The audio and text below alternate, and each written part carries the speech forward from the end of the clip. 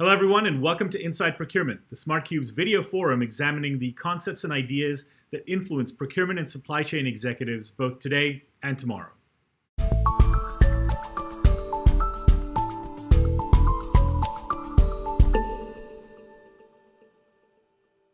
We're very pleased to have as our guest today Stuart Caborn, who is the Chief Procurement Officer for Nomad Foods. Uh, Stuart is uh, I'll say one of the most progressive procurement uh, executives that we've ever come across and have had the pleasure of working with. Um, and so today's Inside Procurement episode is really focused on understanding more about Stuart, his experiences, um, his goals and strategies as he's come into Nomad Foods uh, since the beginning of this year. A very interesting time to be uh, joining an organization. Um, and then what are some of the lessons learned and what are some of the the, the, the goals or visions that he has uh, for the organization and for the procurement function in particular uh, as we go forward. So, Stuart, welcome to the to the show. Hi, Omer. How are you? It's great to see you. Great to be here, and thank you for a very very kind introduction. Um, give you a little background of myself. Um, so, I started my career in always really in FMCG organizations. Um, I spent a lot of time with Cook Corporation, uh, both in the US and in Europe. I was their vice president of procurement. And then I moved to um, Findus Group actually in 2008, which was a pan European role in the frozen food space. Um, that business, ironically, was sold to Nomad in 2015. So I was part of the team that actually sold Findus Group to Nomad in, at, at that time. And then I stayed with the remaining part of the business, uh, a seafood business in the UK, the largest chilled and frozen seafood business in the UK uh, market until that was sold under private equity ownership last year to the 850 Food Group. And at that time, I actually got the great opportunity to join Nomad actually um, and come back and, and uh, join what is now Europe's largest frozen food branded business. So the potted history.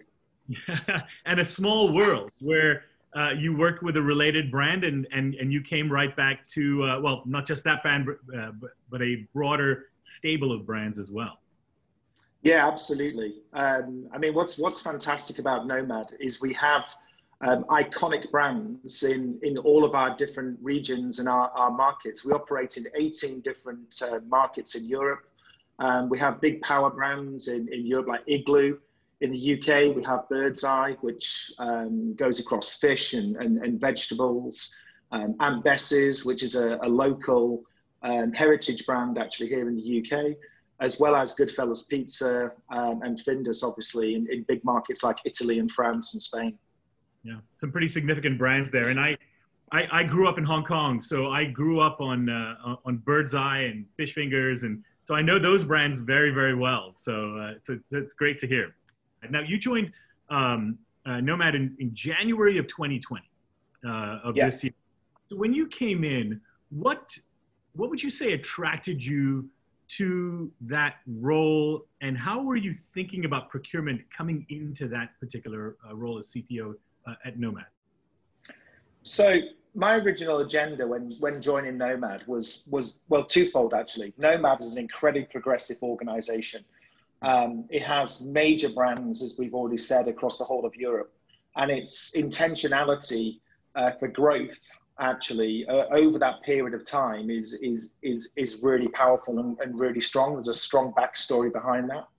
Um, so I was really excited to be joining a business like uh, like this. Our vision and our values are absolutely um, at the heart of my own personal um, ethics. So we, we have a strapline of serving the world with better food, but that really sort of gets into the sustainability agenda and actually turning words into action. A lot of businesses talk about visions as, as words. Nomad is, you know, with our exec leadership team, it's very strong and actually um, delivering that into action. And I, I, think for me, that was my first attraction of joining Nomad. My, in terms of my agenda, my, my agenda has always been around building high energy, high focused, award winning procurement organizations that actually deliver true value to our consumers as well as our internal and external stakeholders. I inherited the core of a really strong team that needed its purpose and its energy reinvigorating.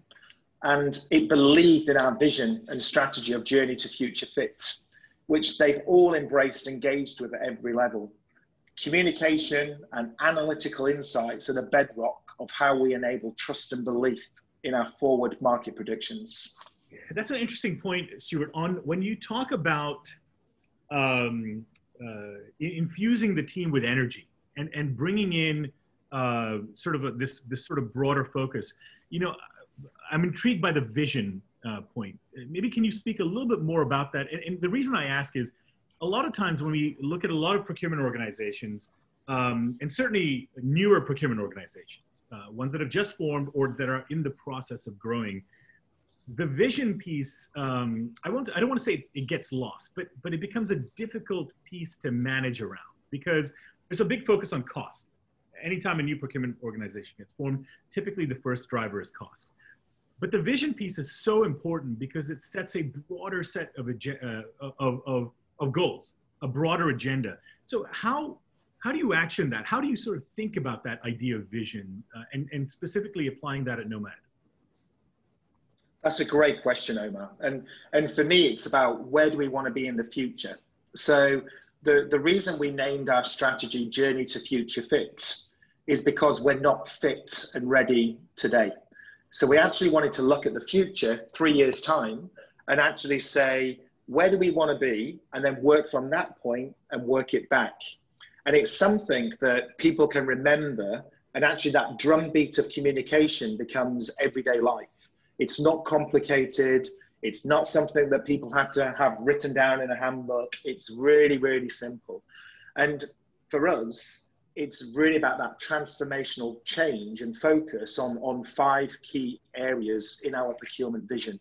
Um, one, we make no bones about it. In three years' time, we want to be an award winning um, procurement organization with our best in class peers in the marketplace. We want that to look forward to. We want to be uh, recognized against the big businesses of, of the world, the big blue chips. And we will do it with a relentless focus around five areas. And, and that's been organizational excellence and design. We need to absolutely ensure that our organizational design is fit today for the future and aligned to our um, business objectives and direction. The second one is around people excellence. We want the best talent, the best learning and development programs, and actually our people excellence program. It goes beyond Nomad representatives. It actually includes um, representatives from Smart Cube, your own organization, Omer, where we collectively share the same DNA and share the same vision of where we're going. It's about supplier excellence program as well. How do we actually build supplier excellence into our future models, getting the right suppliers, the best suppliers, and ensuring that our SRM models are aligned to the future fit of again of our business. Category excellence is the other pillar. So having 20, we've got we've done 27 flywheels this year across our organization, just over around about a billion of cogs. And those flywheels are actually linked all the way back to the must-win battles of our key uh, customers and our key sales guys around the business, fully entrenched with any market unit. And the fifth one is around knowledge and informational excellence. So having the knowledge, having the IT platforms, and having the data and the analytics to enable us to um, make our strategy fit again for the future. So enable us to predict where we're going. Very simple, very focused, um, and remaining agile at all times. Yeah, and that's fantastic. You know, I'm, I have to think uh, as I sort of think through the the, the five uh, uh, goals or strategies that you've laid out, and then when you set it up to say, you know, our goal is to be an award-winning, best-in-class procurement organization, that must act as a as a big accelerant in terms of bringing the best people into the organization. Uh, the best people want to work for progressive organizations. The best people want to work for the, the best in class and award winning um, and and having that emphasis on people excellence and, and and having that overarching vision, I think is is interesting. I think you know we all talk about we want the best people, but when you set a goal of being best in class and award winning, that sets a visible bar. And, and do you find that has translated very clearly into the kind of people who are coming to you and approaching you and being part of that organi- of the organization? Absolutely, Omer. We we actually really um, focus a lot on our people and our talents. and really around the type of personality for the type of role that they do. In, in, group procure, in our group procurement function, we don't just employ buyers. Buyers are, are part of the, the team, but we have um, analytical um, uh, people within our team. We have agronomists in our team that are actually looking at DNA cycles of seed.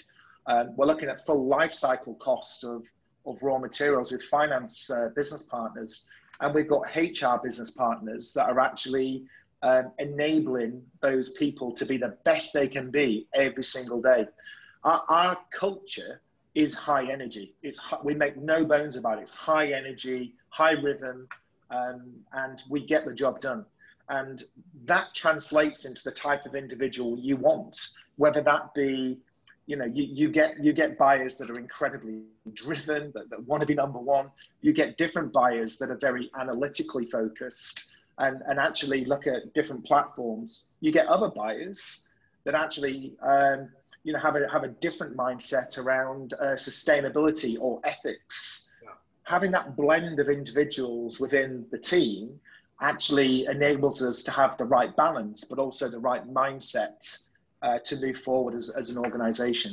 So we're really focused on the right personalities as well as having the best in class individuals.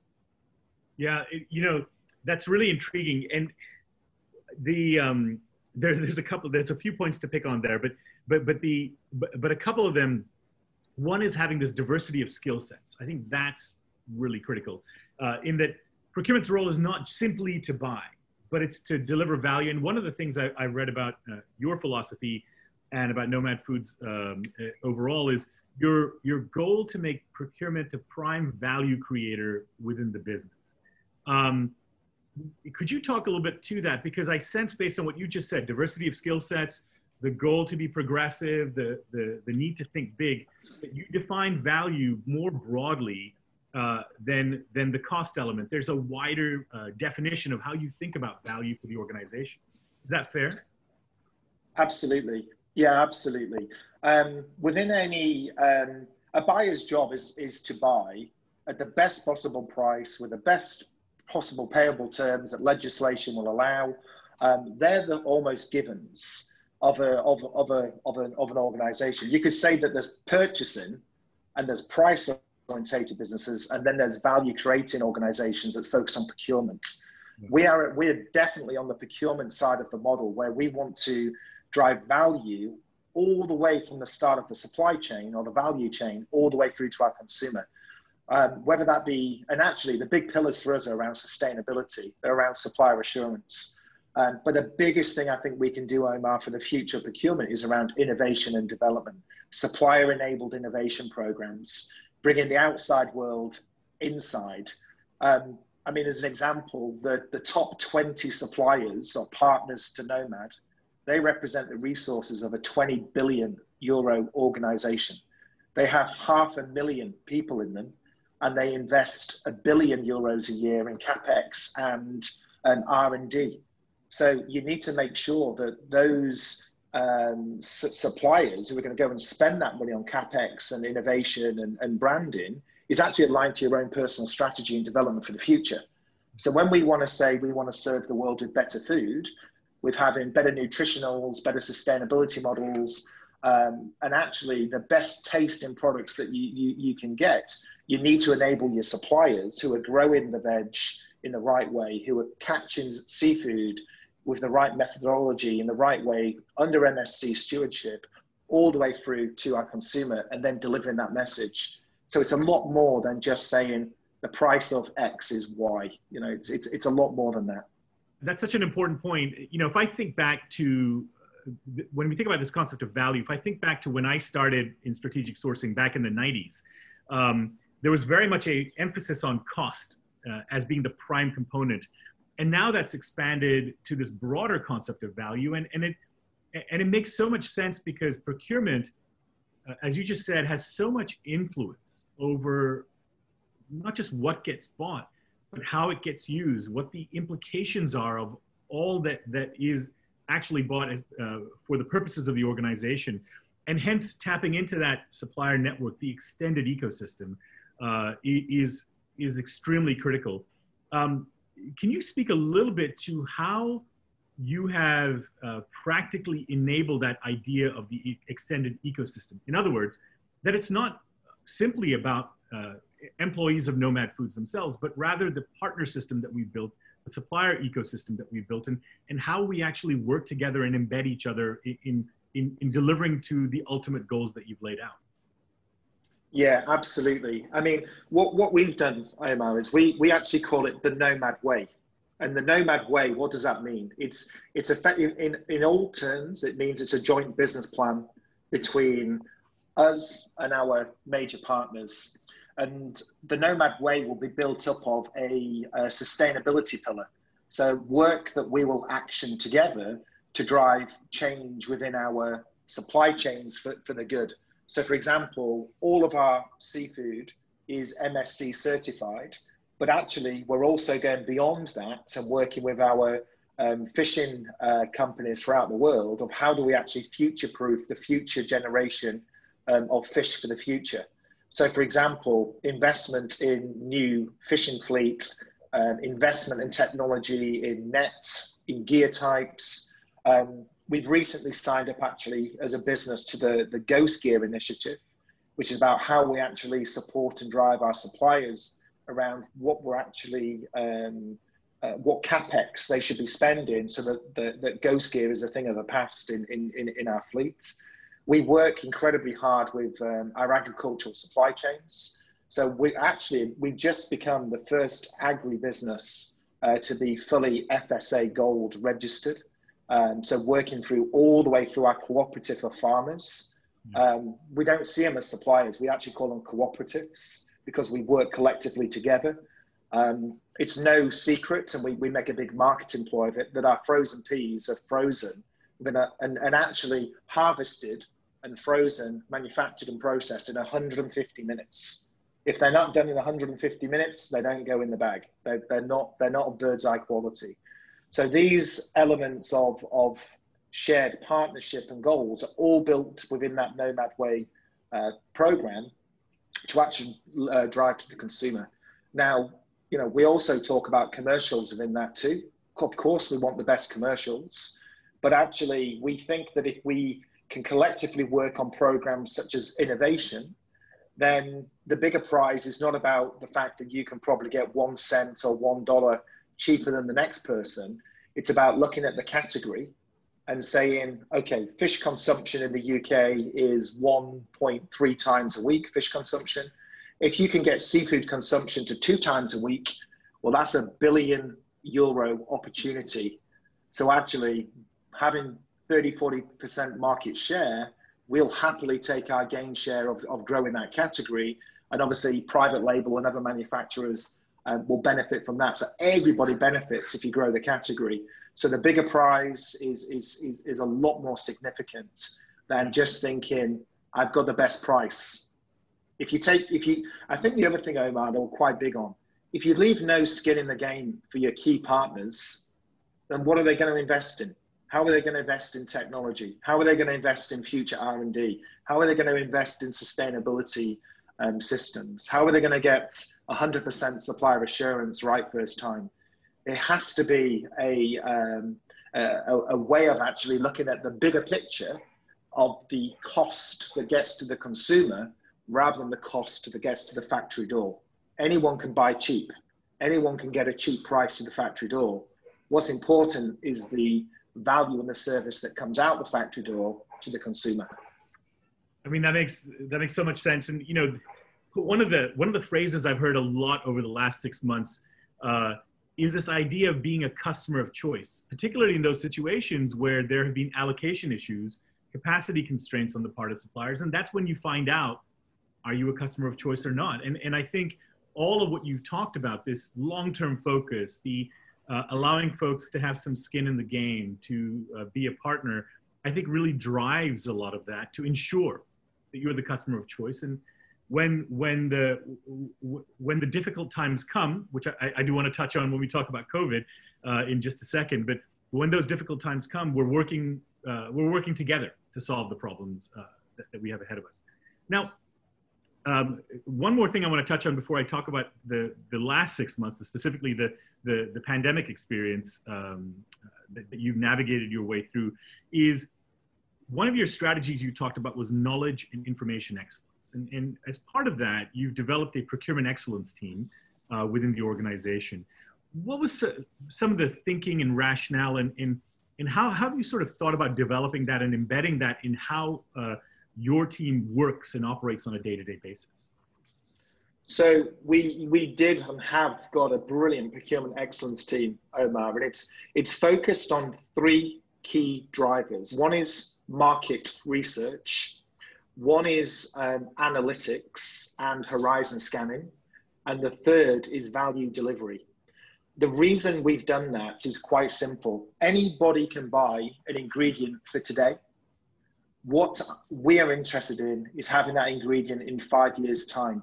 Mm. And, I, and I know that we're going to touch on COVID and, and, and possibly even Brexit, but it's, it's true that what's happened is that um, value chains around the world have changed forever during during COVID. You, you could see when Asia started how the, the whole value chains were starting to, to, to move, and then obviously it moved into Europe, and then obviously onwards to the to, to North America. And you know, having analytics and foresight, when things like that happen, you can't always react immediately. But what you can do is is is is look ahead of the curve so having the right market market research, having the right analytics, and having the right value delivery, for me, that's uh, that is an absolute source of competitive advantage because value chains will constantly evolve, and having the insight and the um, the, the, combination of market intelligence and market research with analytics actually gives you the combination of what you should be doing and where you should be focusing your attention for the future. Then you have value delivery, that can go and execute the plan. Yeah. How, how have your category folks responded to that in terms of um, uh, not just the, I guess, in terms of, of, of, the kinds of intelligence and analytics that, that they've been able to receive, uh, but then how has that you know, influenced and changed their thinking in terms of what they think the potential is, in terms of broadening the goals of the category and driving the category forward as well. Yeah, absolutely. I mean, we, we operate um, with um, category flywheels. So every buyer will have their own flywheel. They'll have the traditional um, routes of, you know, um, how to manage a, a, a, category excellence model. They, they you know, tip, nothing new, nothing um, um, that, that's that, that most probably forward-thinking procurement organizations have. The difference with having the analytics and the forward view is actually you're securing your raw material three, five, six, seven, eight, even 10 years in advance of where you need to be. If you, if you think of something like um, seafood, seafood is as sustainable as it, as it can be. Um, it's, it's, it's not going to grow significantly over the next 20, 30 years, which is why aquaculture is coming in as the, as the growth sector within, within seafood growth.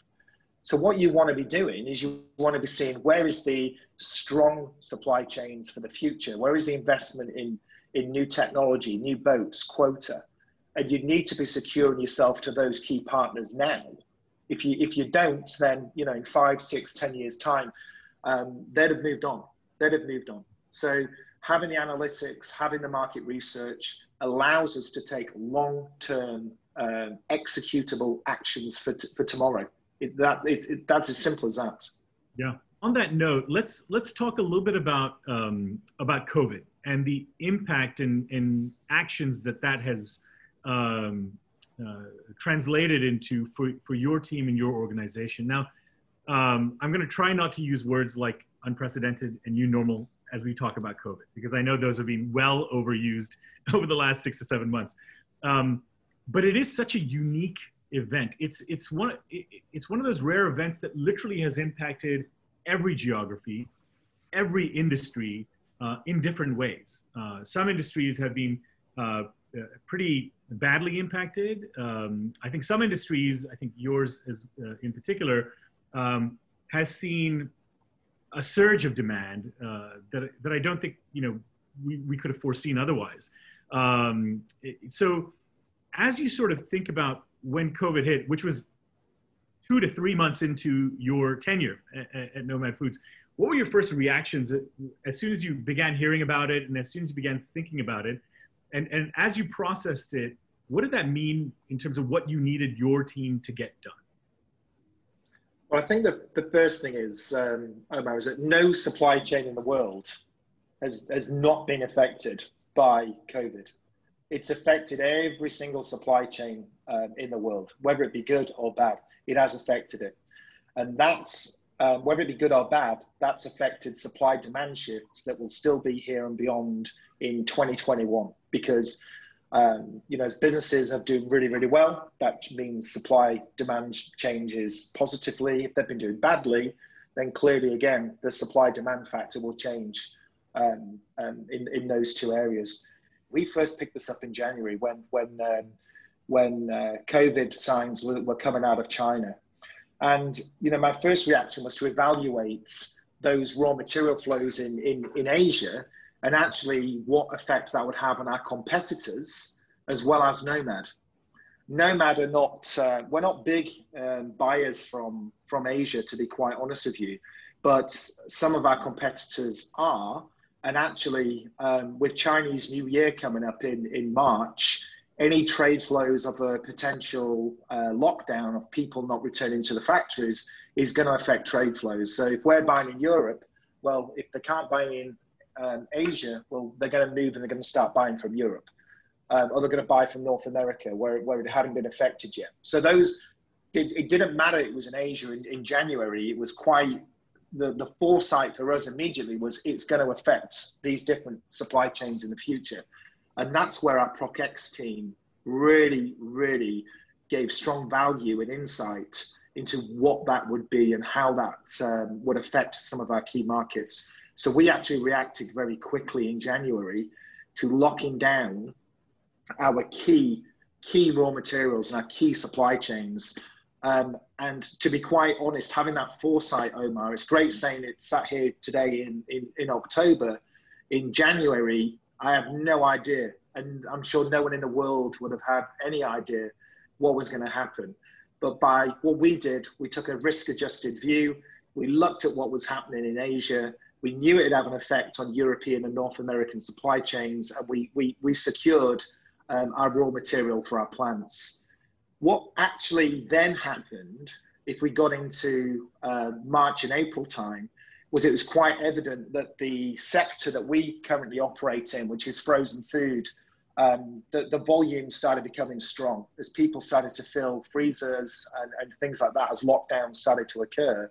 And then the food service sector, they they had a big impact. Their their demand was actually um, going backwards. One of the things that I'm quite proud of and what we did was um, we actually jumped in to where traditionally um, a supplier was supplying um, heavily in food service. We actually went and supported that by saying, "Hey, we'll buy your chicken. It's to our specification.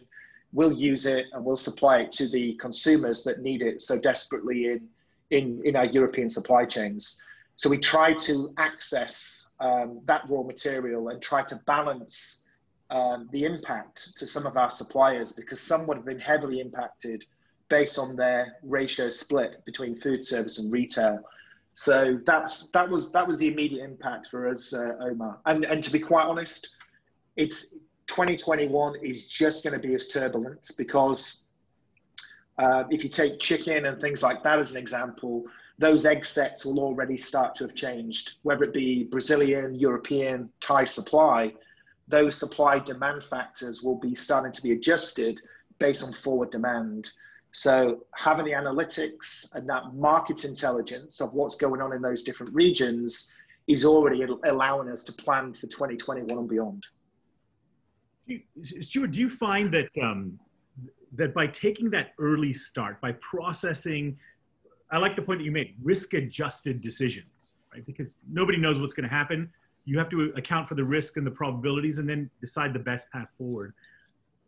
Did you find, and, and maybe I'm asking an obvious question, but, but, but just to ask a question, um, did you find that by, by getting an early jump on, on these actions and decisions, how did that play out in terms of the original strategy you laid out for 2020? Did it allow you to continue doing that, or did you say, we got to just stop and we got to do all these other things for now? Or, or did it just allow you to sort of not seamlessly, but as seamlessly as possible, move right through that into ensuring that your 2020 goals and targets were met?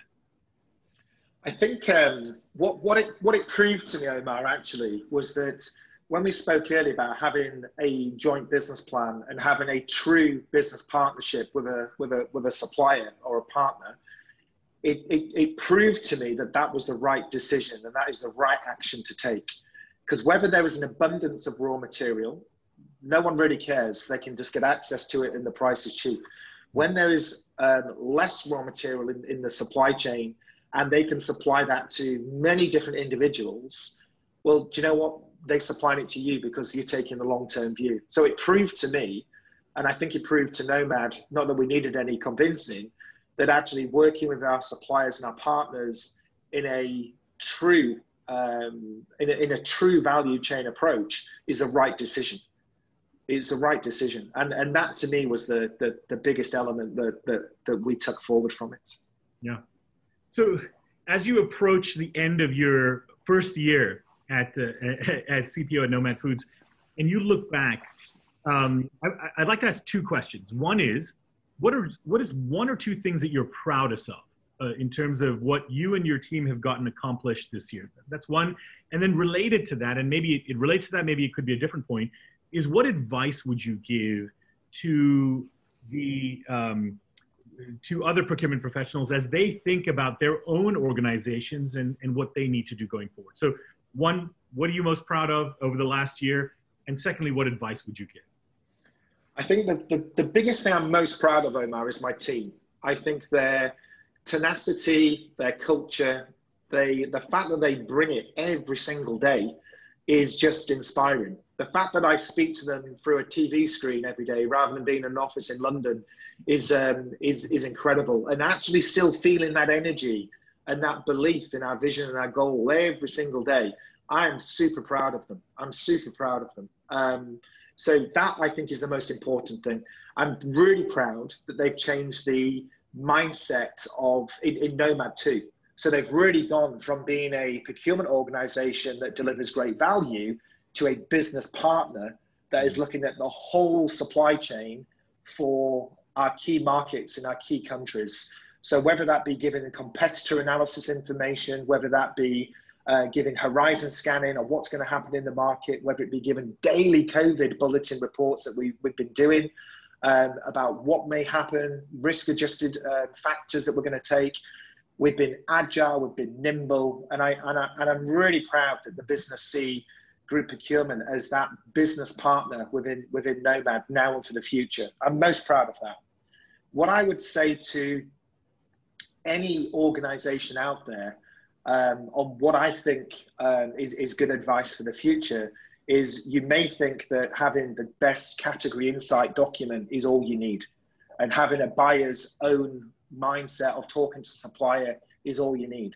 My view, it's not you, you need to combine your buyer intelligence with analytical uh, data and knowledge through market research, through clear analytics of, of global value chains and supply chains and value delivery.